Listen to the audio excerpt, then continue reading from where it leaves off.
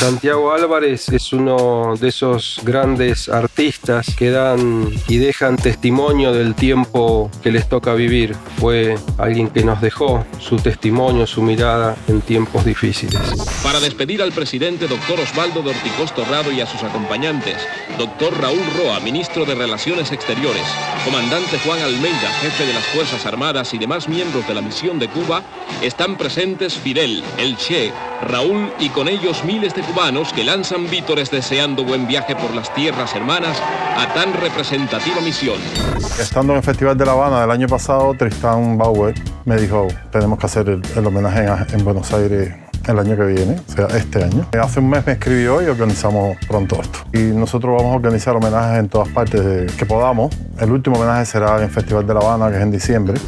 Lo conocí primero como proyectorista. Cuando tenía 14 años, yo proyectaba para Cine Liberación, pasábamos la hora de los hornos, actualización doctrinaria, operación masacre. Y un día llegó un cubano, era muy raro ver a, cubanos en aquellos años en Argentina. Y llegó con una serie de copias de películas. Traía su película, Hombre Maicinicú, y traía un documental que era un homenaje al pueblo chileno, hecho recientemente en el, en el golpe y fundamentalmente a esa maravilla que es Víctor Jara. Y entonces descubrí en esa proyección que había un cineasta que se llamaba Santiago Álvarez. Santiago Álvarez fue el director eh, oficial hasta la década del 90 desde la Revolución Cubana. La Revolución crea rápidamente un instituto cinematográfico y dentro de ese ámbito se crea un noticiario cinematográfico de periodicidad semanal, donde Santiago Álvarez es el director.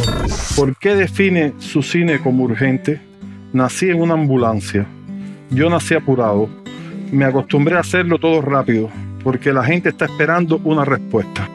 Cuando en el 83 voy a, Cuba y quiero conocer su, cine, aparece un hombre pequeño y me empiezan a contar que es el documentalista cubano y que ha hecho los noticieros en Cuba. Y con una humildad extraordinaria, yo era muy joven, me fue contando cómo era su tarea, su mirada, su trabajo. Y entonces estamos acá hoy, por un lado, por este encuentro con Iván Girú, el director del festival, que nos propusimos en diciembre hacer este homenaje y la verdad que extraordinaria la DAC para poder llevarlo adelante y por otro lado en el recuerdo personal de ese ser humano extraordinario y de ese artista que nos enseña a todos, un hombre de un manejo del lenguaje audiovisual y de una actitud ética realmente como pocos, ¿no? Un maestro para todos nosotros. enough with the quoting. Put those words into action, and we mean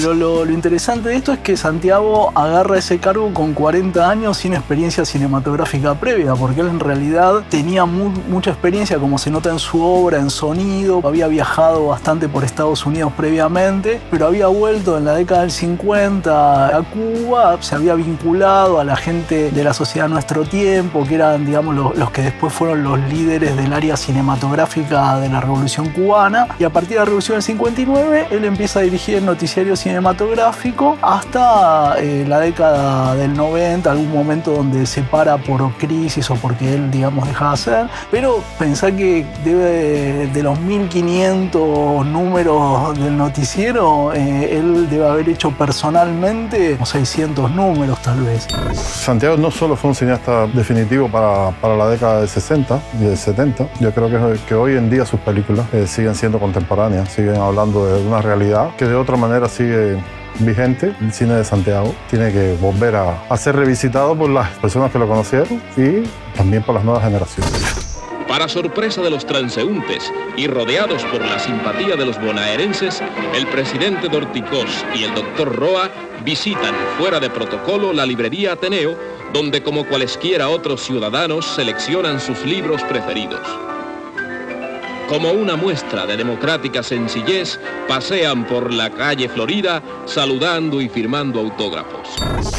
Muchas partes de su cine que son desopilantes. Así que recuperarlo me parece que está muy bueno, porque es otra época, pero el espíritu ese, digamos, es un espíritu vanguardista dentro de una revolución, digamos, que mantiene un proyecto revolucionario y eso muestra cómo durante mucho tiempo, por lo menos, la revolución cubana permitió combinar ambas cosas y él fue uno de los promotores.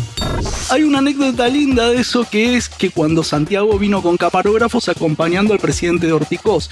Entonces, cuando se está filmando el restablecimiento de las relaciones diplomáticas, el sonidista del equipo de Santiago no consigue entrar. Que entonces, eh, cuando terminaron de filmar, Santiago se acercó a Orticós y le dijo, mire, presidente, esto así no funciona porque no tenemos el sonido.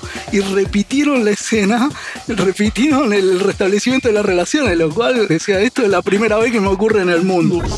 Siempre utilizo su cine como ejemplo de lenguaje audiovisual, cómo debe narrarse en esto de la segmentación, cómo manejar el tiempo y el encuadre, el ritmo, la importancia de la banda sonora, el trabajo casi con mínimos elementos. Llegaba a Cuba alguna revista, llevaba alguna fotografía, algunos retazos de algún archivo documental y él los transformaba en sus grandes obras y en sus grandes testimonios. Por eso yo creo que es una obra que es un patrimonio de la humanidad y es una obra que está permanentemente actualizada. No vamos a verlo como un cine del pasado, de los años 60, con una mirada analítica, sino que nos vamos a, a conmover todos por revivir aquellos tiempos, aquellos personajes de los cuales nos habla Santiago Álvarez. La realidad en el cine no se capta, se construye. Y así termino.